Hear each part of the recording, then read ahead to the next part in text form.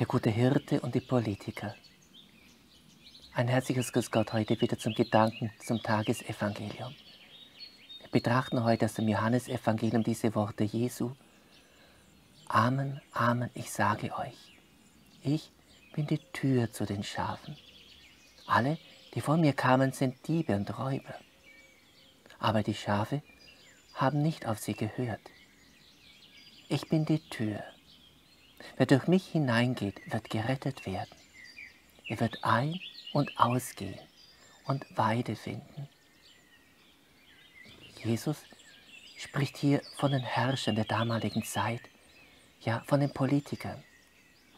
Diese haben sich wenig ums Volk gekümmert, es eher ausgebeutet als ihm gedient. So wollen wir heute besonders für unsere Politiker beten damit sie die Gesinnung des guten Hirten Jesu annehmen, sich von dieser Gesinnung leiten lassen und wirklich dem Volk dienen und es nicht zugrunde gehen lassen. Seit ein paar Wochen widerstrebt es mich, Nachrichten anzuschauen. Ständig ist dort von Waffenlieferungen an die Ukraine die Rede. Wer sich daran freut, ist sicher die Waffenlobby. Wer schrecklich darunter leidet, sind all die Menschen, die verletzt oder getötet werden. Und eines ist sicher, je mehr Waffen wir in die Ukraine liefern, umso länger kann dieser grausame Krieg dauern. Nun meldete sich auch Papst Franziskus zu Wort.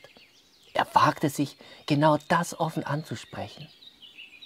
Als Gründe für den Krieg macht er den Handel mit Waffen aus, einen Skandal, dem nur wenige widersprechen würden.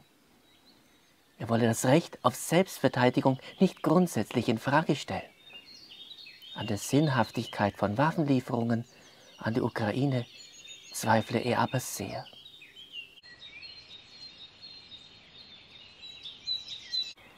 Jesus selbst bezeichnet sich als Tür zu den Schafen, durch die alle Hirten, das heißt Priester, Lehrer und Politiker gehen sollten, um wahrhaftig gute Hirten für das Volk zu sein.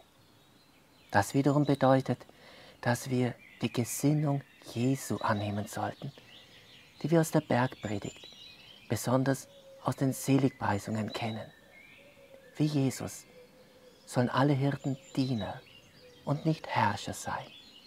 So lade ich euch heute ein, fest für unsere Politiker zu beten, damit sie die Waffen ruhen lassen und im Licht der Liebe Jesu eine friedliche Lösung anstreben, um den Krieg möglichst bald zu beenden und Hungersnöte in der Welt zu vermeiden. Jesus, wir bitten dich heute für all unsere Politiker. Lass sie gute Hirten sein, die sich wirklich nach dem Evangelium ausrichten und durch die Türe gehen, die du selber bist, um die Menschen zu retten und sie nicht zugrunde zu richten.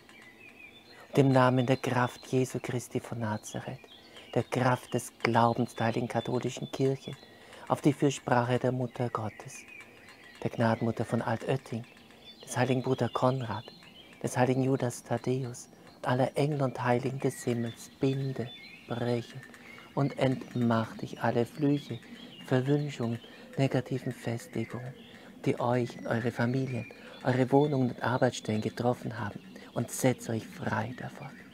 Dem Namen Jesu Christi von Nazareth trenne ich alles Negative von euch ab, was euch von Menschen, Dingen oder Orten übertragen worden ist.